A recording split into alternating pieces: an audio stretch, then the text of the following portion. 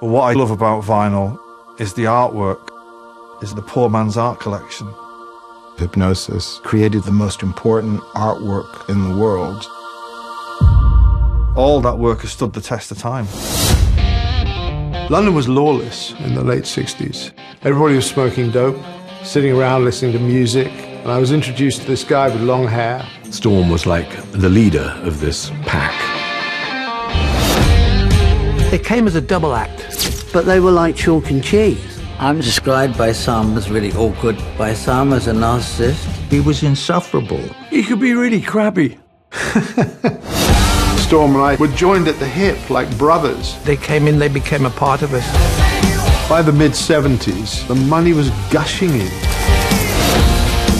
I mean, they're hucksters. They are a bit shady. That record came out of the reject box. This is a famous box. With all the ideas that no one else wanted.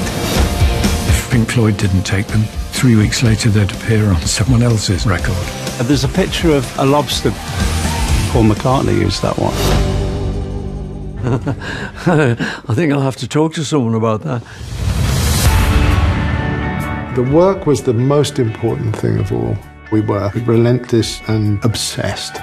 They were always off the wall, always doing the unexpected.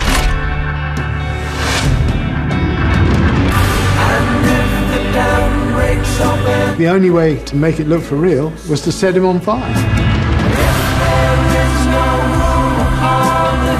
Storm said, We'll just get a picture of a cat.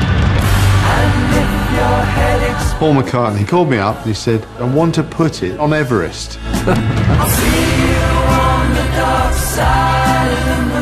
They represent the golden age of the music business.